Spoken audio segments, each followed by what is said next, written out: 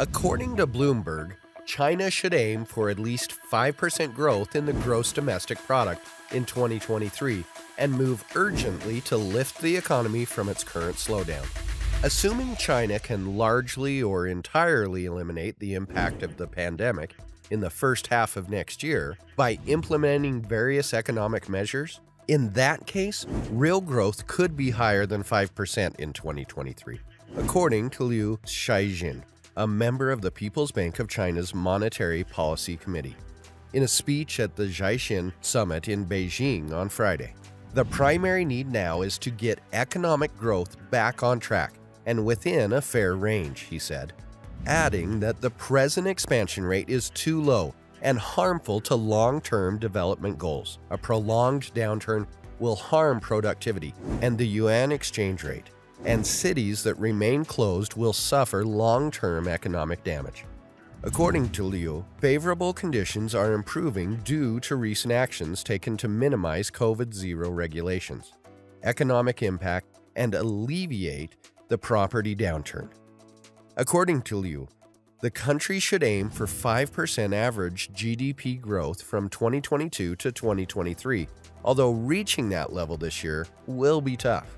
The government has reduced its official GDP target for this year to about 5.5% due to a severe slowdown in growth, with economists polled by Bloomberg estimating only 3.3 for the year. To fulfill China's aim of becoming a medium developed country and doubling per capita GDP by 2035, the economy must grow at an average rate of 4.7% until then, according to Liu, who added that it would be challenging. Improving overall productivity is another option to meet the 2035 target.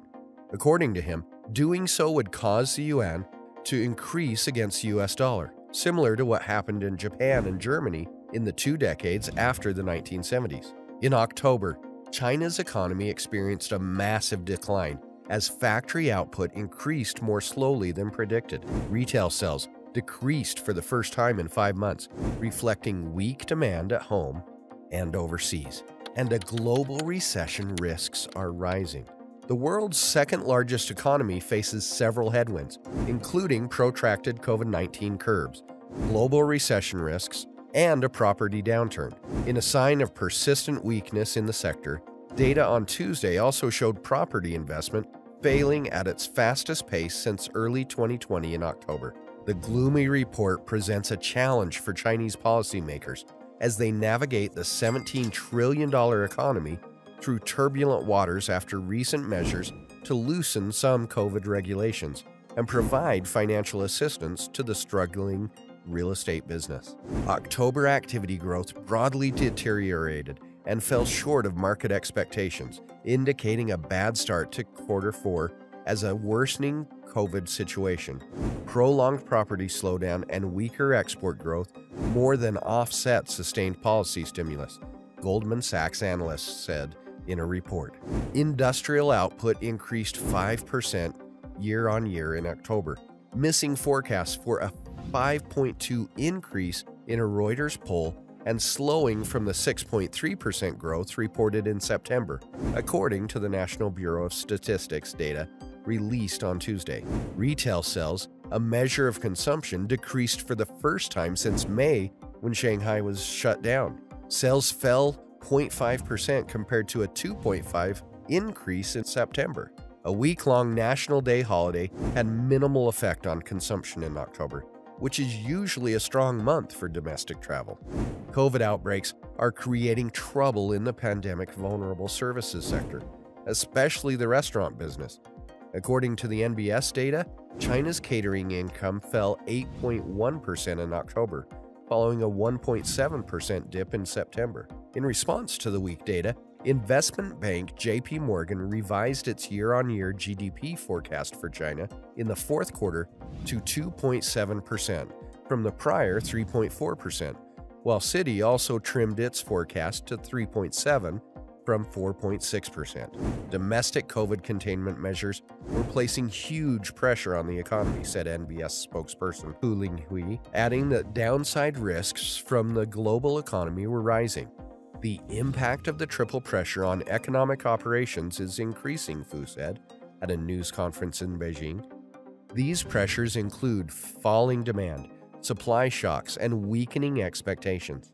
Despite Beijing's decision to reduce some COVID restrictions, the economic picture remains bleak, according to Zichun Huang, an economist at Capital Economics. With exports falling, the property industry continuing to be weak, and the zero COVID policy likely to last longer than many expect, the near term picture is bleak. Despite the poor results, Chinese markets climbed on Tuesday on hints of decreasing Sino US tensions following a meeting between US President Joe Biden and Chinese President Xi Jinping.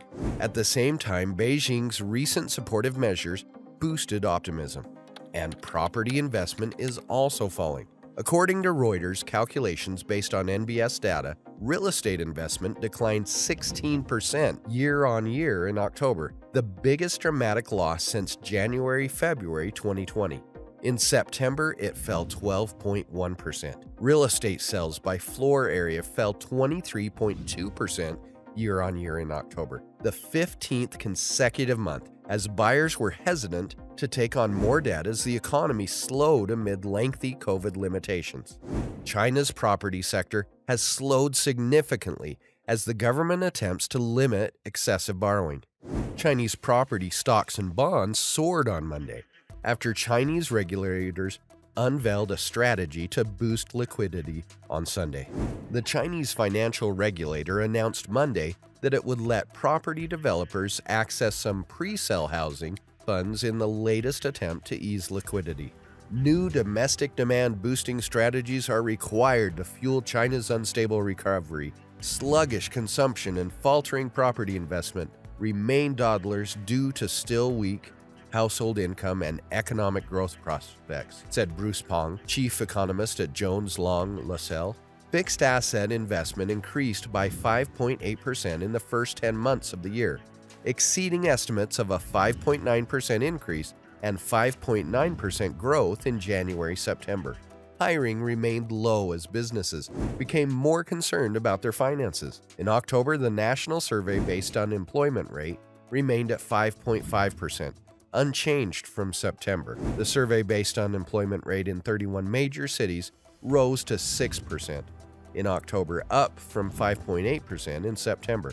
Analysts say the country is on track to miss its annual growth target of around 5.5%. Economists in a Reuters poll expect the economy to grow by 3.2% in 2022. So there you have it, guys. If you enjoyed watching this video, don't forget to smash the like button and subscribe to be the first to watch the following videos and for more finance news, guides, and updates.